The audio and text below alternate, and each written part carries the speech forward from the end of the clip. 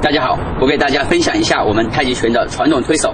太极拳的传统推手，它是一个训练手段，它是一个检验我们拳架是否标准、是否腿、腰、手节节贯穿的一个训练手段。它并不是训练目的，而不是为了推手而推手。当然，竞技推手除外。你看，我们是否做到了腿、躯干、手的一个节节贯穿？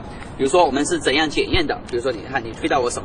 你看，我们形成了一个连接，是不是腿腰手？你看，我们做做单推手，是不是从腿到躯干？到手，腿到躯干到手和对方是有连接的。好，那比如比如说我们在打拳架的时候，你看我们做一个动作，我们在打拳架的时候，哎，我们在每一个动作是不是有连接？比如说你看你推在我手上，我们在每一个动作，你看我们沉下来是不是有连接的？是不是腿腰手完整一气的？好，比如说我们相当于站桩，我们这样做一个动作，我们在轻轻的做一个动作的时候，你看压在我手上，我们是不是形成连接的？